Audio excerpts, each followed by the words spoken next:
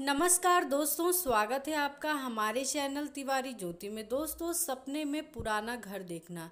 सपने में अपना पुराना घर देखने का क्या मतलब होता है? दोस्तों, सपने में आप अपना पुराना घर भी देख सकते हैं, या किसी दूसरे का भी पुराना घर देख सकते हैं, या फिर कभी आप उस पुराने घर में रहे हो, वहाँ से आपका कोई रिश्ता जुड़ा हो, या फिर कोई ना कोई यादें आपकी वहाँ से जुड़ी हो पुराने घर से तो उसे भी आप देख सकते हैं। लेकिन दोस्तों, हमें पुराना घर, पुराने घर का सपना हमें क्यों दिखाई देता है?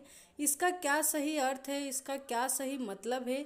इस सपने का क्या रहस्य है? आज की इस वीडियो में मैं आपको पूरी जानकारी देने वाली हूँ। दोस्तों, वीडियो को एंड तक ज़रूर देखिएगा और वीडियो पसंद आए तो वीडियो को लाइक और शेयर करना ना भूलेगा तो दोस्तों, स्वप्न ज्योतिष शास्त्र के अनुसार बात करें तो जो भी व्यक्ति अपने सपने में अपना पुराना घर को देखता है तो उसे ऐसे सपने इसलिए आते हैं क्योंकि उसका कहीं ना कहीं पुराने घर से कोई रिश्ता है या फिर वो कोई चीज़ें पुराने घर की याद कर रहा है, या फिर आप ऐसा समझ लीजिए कि आपकी यादें पुराने घर से बहुत ज़्यादा जुड़ी हुई हैं और आपको बार बार वो चीज़ें, वो यादें याद आती हैं तो ऐसी स्थिति में भी आपको सपने में पुराना घर दिखाई दे सकता है।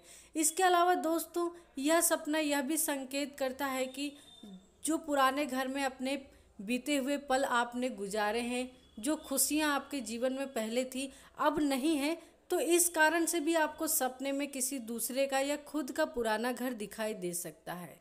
इसके अलावा दोस्तों, यह सपना आपकी परेशानी और समस्या न खत्म होने की ओर भी संकेत करता है और यह सपना यह भी बताता है कि आपके जीवन में इस समय जो स्थिति है, जो परेशानी है, जिसे आप कहीं ना कहीं समझ नहीं पा रहे हैं और इससे निकलना चाहते हैं तो ऐसी स्थिति में भी आपको सपने में पुराना घर खुद का या किसी दूसरे का दिखाई दे सकता है।